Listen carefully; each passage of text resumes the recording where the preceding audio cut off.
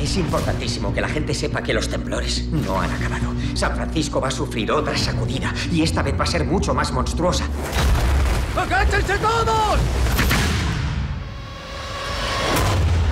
Dios mío. When you're making San Andreas and creating a 9.6 earthquake, it requires a great team of people around you. Not only what would that look like, but then how do we make it truly immersive? Esto no ha acabado.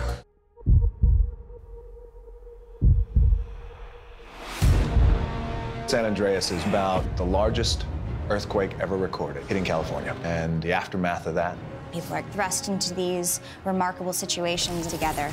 ¿Qué vamos a hacer? Vamos a por nuestra hija. It's inspiring and powerful, and these guys will stop at nothing to do the right thing. They basically get everything thrown at them from the earthquake to tsunamis to collapsing buildings to planes crashing, boats crashing. Pretty much everything that a person could possibly experience in one very bad day.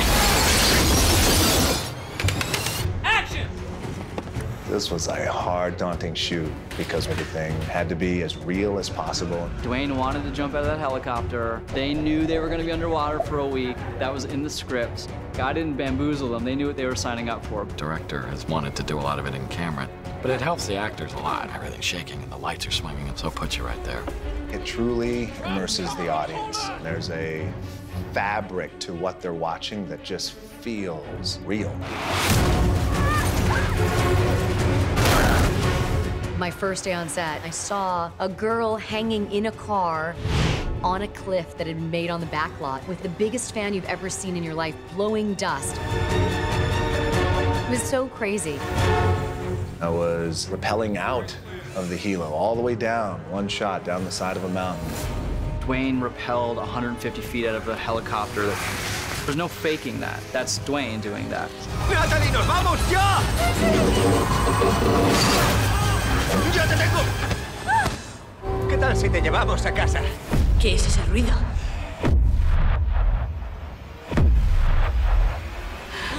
¡Al suelo! ¡Al suelo!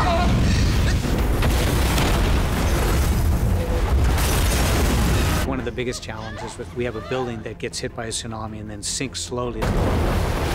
Coming up with a way to get a 9,000 square foot office floor to sink was very complex. We were in the largest tank in Australia and one of the largest tanks in the world. Over 2 million gallons of water in this thing. It was the largest structure built within a tank. Five-story building that had to flood in an instant. They drop all this water in on you, and the force of the water pushes you back. The floor of the tank itself can actually drop and go side to side. So you're not actually filling water, they're dropping the floor, which is kind of amazing. Everything is built, everything's interactive. I've never seen anything like it. Hundreds of members of crews, underwater cameras. It's bananas. There's just so many things that are coming at you. You're on this thrilling ride, on the edge of your seat, and yet you're also emotionally really engaged. ¡Te quiero, papá! There's action, there's humanity, there's heroes, and it is spectacular.